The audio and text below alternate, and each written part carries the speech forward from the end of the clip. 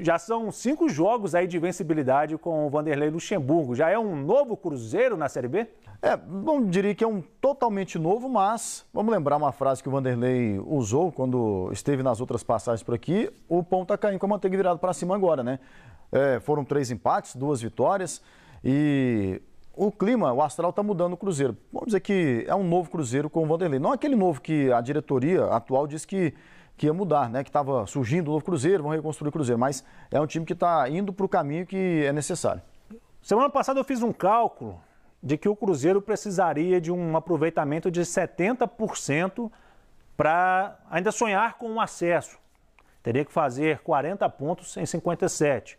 Agora já são 37 pontos que tem que fazer. E com o Luxemburgo, o aproveitamento é de 73%, ou seja, se ele mantivesse, daria para subir. Mas pelo que o Cruzeiro vem apresentando nesses últimos cinco jogos, dá para manter esse desempenho ou até melhorá-lo com, com o Luxemburgo? Bom, é uma missão muito difícil do Cruzeiro, né? O Cruzeiro demorou muito a engrenar e pegar resultados positivos na Série B, desperdiçou muito tempo com outros treinadores, principalmente com o Moza. Foram nove jogos sem vitória do Cruzeiro. Isso num campeonato de regularidade de pontos corridos é muito difícil de você recuperar depois. Se o Cruzeiro conseguir chegar ao G4 com o Luxemburgo, está fazendo um trabalho diferenciado, mas ainda faltando desempenho dentro de campo, o resultado está vindo, mas o desempenho do Cruzeiro ainda é bem questionável. A gente viu, a gente tem visto no Cruzeiro mais vontade, mais raça do que realmente técnica, mas o time tem conseguido os resultados, isso tem sido importante.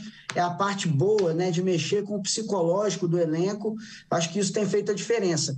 Agora, virar e cravar que o Cruzeiro vai conseguir uma vaga no G4 e conseguir o acesso, infelizmente isso não tem como a gente comentar e falar agora. Está no caminho. Agora, existem outras equipes à frente do Cruzeiro. O Cruzeiro está na parte ainda de baixo da tabela.